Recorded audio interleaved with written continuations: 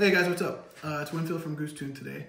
So I wanted to show you guys the 21 through 22 uh, ECU in the F-150s and Raptors because I think it's good for you guys to get a visualization of what's happening when you're removing the front cover.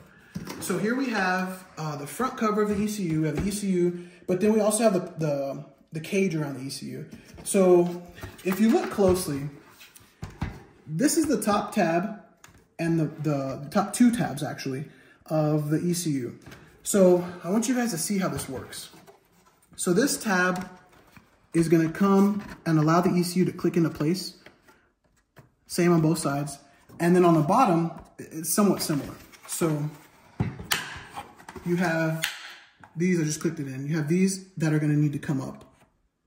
Click up, click up, and then you're gonna be able to slide the ECU out.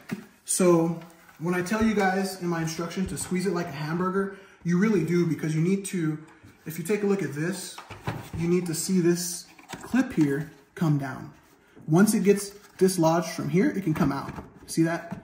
So when you push down and squeeze like a hamburger, this is able to come out.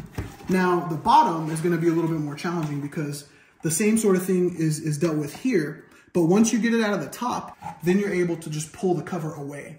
Another thing that's not shown here is the, heart, the wire harnesses that are connected to this cage. So there's one here, here, here, here, and those make it a little difficult to maneuver the cover as well. But as long as you squeeze like a hamburger, twist down, so squeeze and twist down, you're able to pop it out of these two clips that are down here, which there's only two. Some people say five, but there's only two. One, two, and then two more on the top, so four total.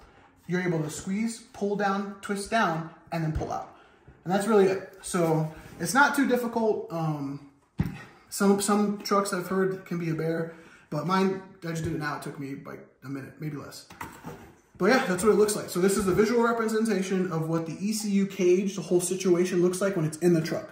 So once this covers off, you pop the two white tabs that are here, you slide the ECU out, send it to Cobb, and they get it back to you within 48 hours. You're all set with the whole process. So that's it. Thanks for watching, guys. Talk to you later.